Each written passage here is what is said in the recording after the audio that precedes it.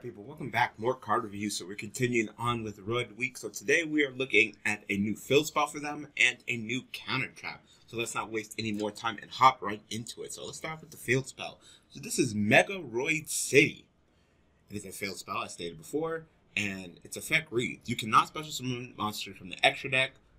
The turn you activate either of this card's effect except for fusion monsters, even if this card leaves the field. So hopefully these effects are worth it because I mean either of the effects I'm just locked out of the extra deck except for just fusion summon, which of course Roids are fusion. But I mean everything else, and what if I link summon? What if I want to summon? So hopefully the effects are definitely worth it to where I'm uh, willing to take that restriction. So uh, the first effect reads: you can target one other card you control, destroy it, and if you do, add one Roid Roid card from your deck to your hand. Okay, so this isn't the plus. This is literally just an even out. You know uh, and it has to be a card on my field. It can't be like just a card in my hands. A card on my field, another card. It can't even be this card. Destroy it and then add a Roid card. At least it's a Roid card, so you know I can you know add like the counter trap or a different spell or something like that. So it does not have to be just a monster. But I'm not just giving that straight plus. You know, uh, it'd be nice if you just activate this card and get to search for like a Roid card. I mean, it'd be powerful. But I mean, really, oh my God, Roid's getting some powerful cards. You know, shocked.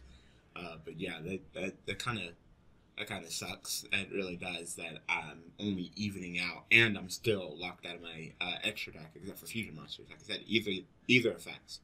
Uh, then the second effect is if a Roid monster battles during damage calculation, you can send Roid, one Roid monster from your deck to the graveyard and switch the original attack and defense of your battling monster during that damage calculation only. You can only use each effect of Roid City once per term. So, yeah, that that effect's actually really good because as we know, Roid monsters they have the big old juicy booty, but they have like no attack. You know, even what we looked at on Monday, Mixeroid and our mobile base. You know, what zero attack, twenty two hundred defense. Switch that twenty two hundred attack for you know just a level four monster. There's nothing to scoff at. You know, five thousand attack. I mean, come on. You know, uh, sending the Roid monster from your deck to the graveyard, you know, that doesn't cost anything. That's not a resource, you know. At least it's not like sending a Roid monster from your hand or field to there. Just some send from your deck to graveyard. It's not a resource.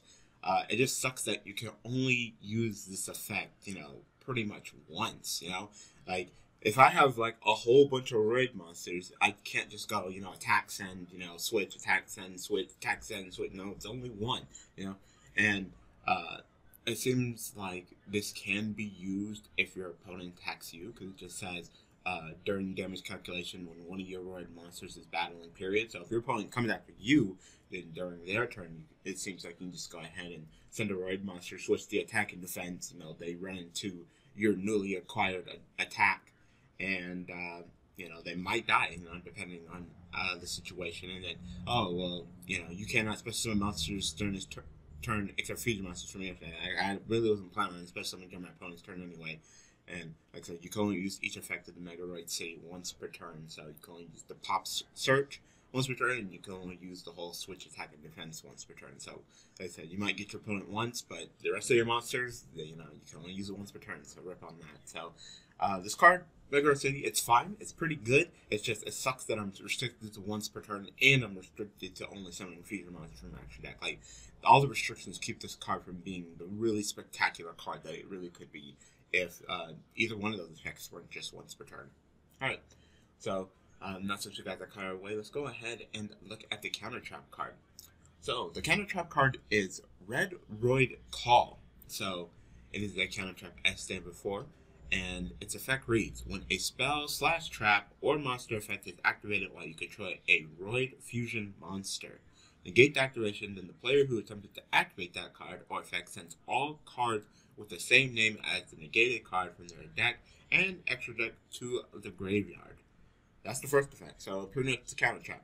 Uh, you have to have a Roid Fusion monster, so you know if you, you don't have a Roid Fusion monster or you're not ready to make a Roid Fusion monster, you can easily dead draw this. But if you do have that Roid Fusion monster, you pretty much have a Solemn. I believe that Roids actually have another counter trap card similar to this where they have their own solemn judgment slash warning or whatever. So pretty much they pretty much have six copies on top of you know warning on top of strike. So you know they they have they're in counter trap city. So that's actually pretty interesting.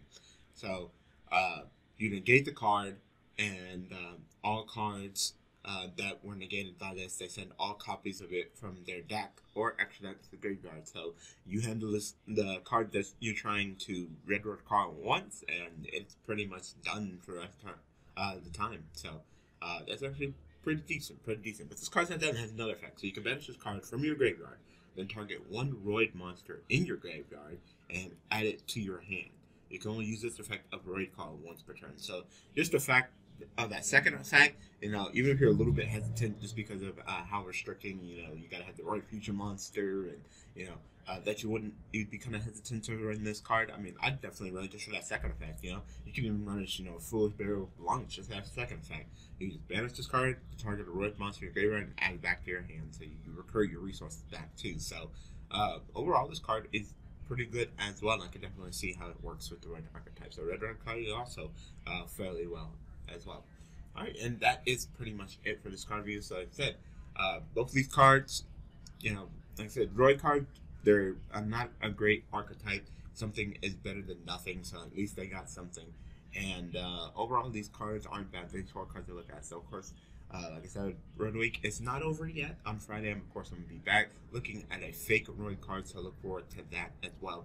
So anyway, I hope that you guys enjoyed this card review. If you haven't already, hit that like button, subscribe button, bell for notification. Of course, I'll be back with some more Yu-Gi-Oh related content tomorrow.